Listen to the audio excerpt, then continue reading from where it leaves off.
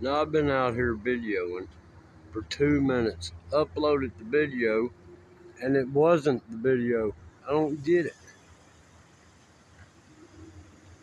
I was trying to show, due to aircraft traffic, the blue skies will not be seen today, you know? None of this is natural. None of it. There was a big X up here, but I can't, man, they eliminated my video I just did. These MFers.